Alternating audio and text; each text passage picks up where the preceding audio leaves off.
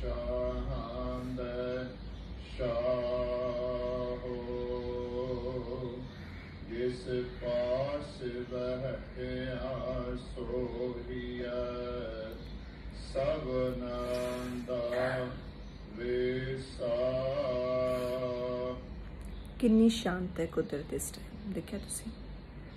ਕਿਸੇ ਵੀ ਚੀਜ਼ ਦੀ ਕੋਈ ਆਵਾਜ਼ ਨਹੀਂ ਹੈ ਸਿਵਾਏ ਪੰਛੀਆਂ ਤੋਂ। ਫਿਰ ਆਪਾਂ ਇਸ ਟਾਈਮ ਉੱਠ ਕੇ ਅੰਮ੍ਰਿਤ ਵੇਲੇ ਕਿਉਂ ਪਰਮਾਤਮਾ ਤੋਂ ਉਹ ਸਭ ਕੁਝ ਨਹੀਂ ਮੰਗਦੇ ਜਿਹਦੀ ਸਾਨੂੰ ਲੋੜ ਹੈ?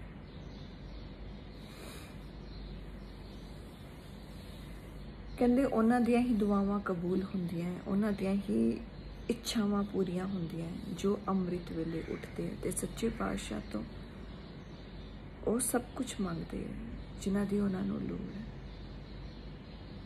ਮੈਂ ਬਹੁਤ ਜਲਦ ਕੱਲ ਪਰਸੋਂ ਅੰਮ੍ਰਿਤ ਵੇਲੇ ਉੱਠ ਕੇ ਵੀਡੀਓ ਬਣਾਵਾਂਗੀ। ਔਰ ਸੀ ਕਿੰਨਾ ਅੱਛਾ ਲੱਗ ਰਿਹਾ। ਕਿੰਨੀ ਸ਼ਾਂਤ ਹੈ ਕੁਦਰਤ ਇਸ ਟਾਈਮ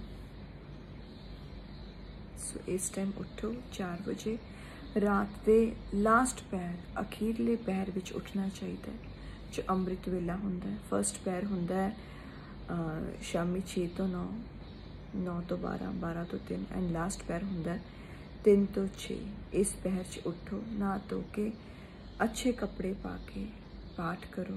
परमात्मा तो जो भी मंगो, थानू ज़रूर मिलेगा। ट्राई करके देखो।